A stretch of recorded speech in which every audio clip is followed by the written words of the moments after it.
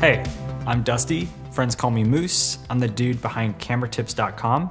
And in this video, I wanna show you how to set up and use manual mode on the Sony a6000.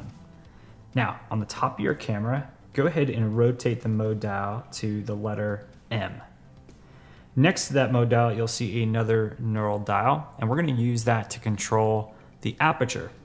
So if I rotate this to the right, you'll see that I am able to select a higher aperture f number. This is great for extending the depth of field or increasing the area in focus, commonly used for landscapes where you want the foreground, middle ground, and background to be nice and sharp. If I go the other direction and select a lower aperture f number, that's going to decrease the depth of field, commonly used for things like portraits where you want the face nice and sharp and the background to be blurred. To control the shutter speed, on the back of the camera, you'll see this control wheel.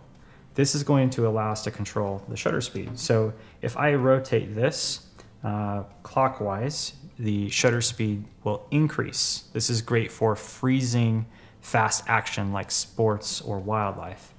If I go the other direction, uh, it's going to allow us to select a slower shutter speed. Great for creative situations where you want to capture motion blur, something like a waterfall and you want to smooth out flowing water. Now, in manual mode, commonly you select the ISO manually, and you can do that uh, here on the back of the camera by pressing the ISO button and then selecting your ISO. If you're just getting started and you're trying to learn manual mode, I recommend sticking with auto. Not every camera has this ability, and it's one of the things I really like about the Sony a6000. So essentially, you select the shutter speed and the aperture, and then the camera will automatically determine the ISO based on those other two values that you've put in. Uh, and in combination with auto ISO, one other thing I like to do is to use exposure compensation. Uh, and what that will do is that'll tell the camera, hey, let's make things just slightly brighter and make things slightly darker. So it'll vary the ISO automatically to get that end result.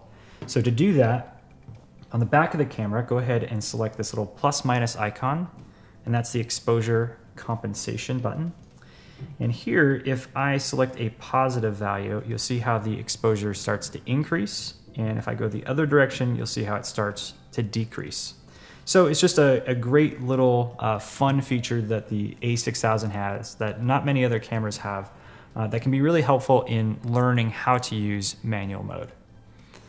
Now, if you're still struggling to figure out how this camera works, maybe you're still unsure of which settings to use, I actually just released a set of really simple cheat sheets for the Sony a6000, which show you the exact settings I use for really common scenarios like portraits, sports, landscapes, and more. You can kind of think of them like recipes. I show you which shooting mode, which exposure settings like aperture, shutter speed, and ISO. Also go over the focus modes I use depending on the subject or scene.